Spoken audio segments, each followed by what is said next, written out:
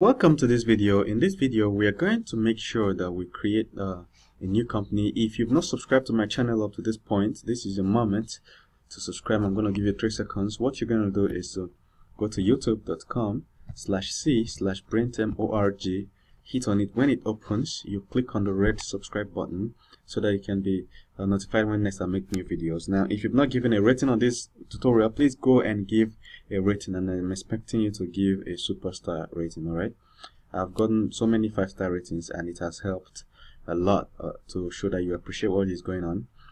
Alright now what we're gonna do in this video is to create the the the page the create companies page. If you've been observant, you will notice that the edit and the create page are just similar. They contain the same fields.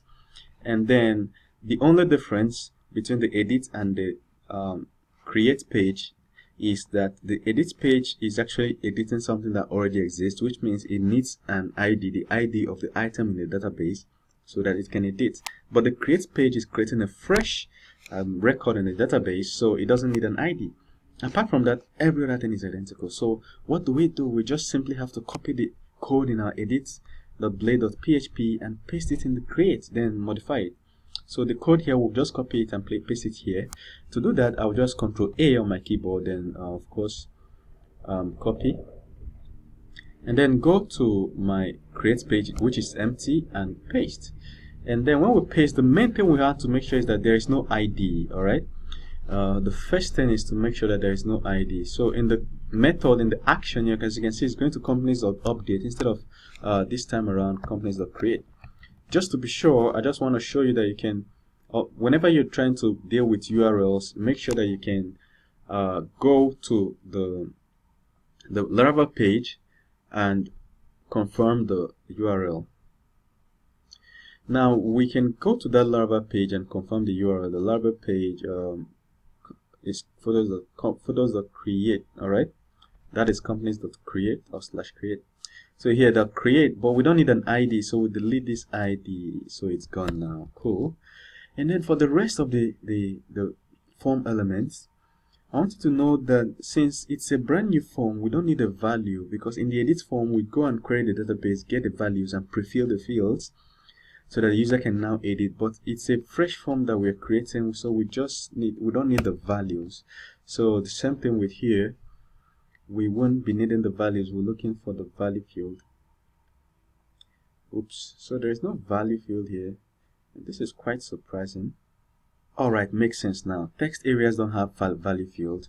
They just have the content of the text area in between them. So I'm just going to remove the content we don't need the content. We just need a placeholder that will say uh, enter description code enter name code.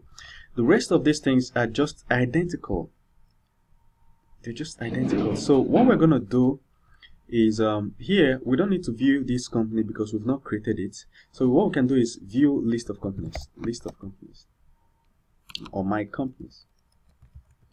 My companies and it's going to be just companies field and uh, that sorts it. So um, instead of all companies just my companies. This sorts it out for us and um, what we're going to do in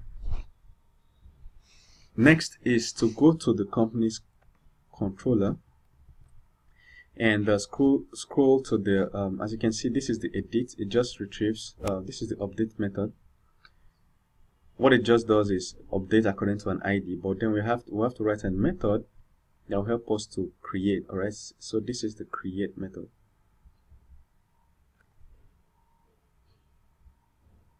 Alright so um from here we're supposed to display the this form. To do that we just going to copy what we already have in the edits? This so which is basically return the view.blade create.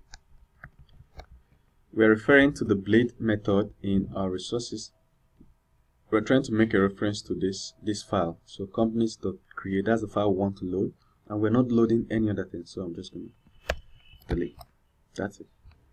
So when somebody visits this page it just loads this page for them and that's all. So in the next video we'll, just, we'll now write the function to store to actually store the details of the company in the database and that's it.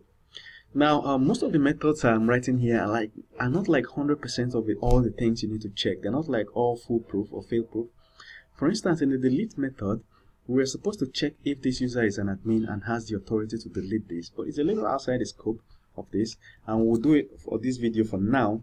Further down we'll get to that topic where we actually check if a user has an authority to do something before we actually allow them to execute it all right that's like access control. But for now I want to get our MVP out and then run out some things. All right see you in the next video. If you're looking for the code for this um, project just go to github.com slash c uh, slash Dave Ozoalor and make sure you give a star rating before you start downloading. So that's where you get the code for this project. All right see you in the next video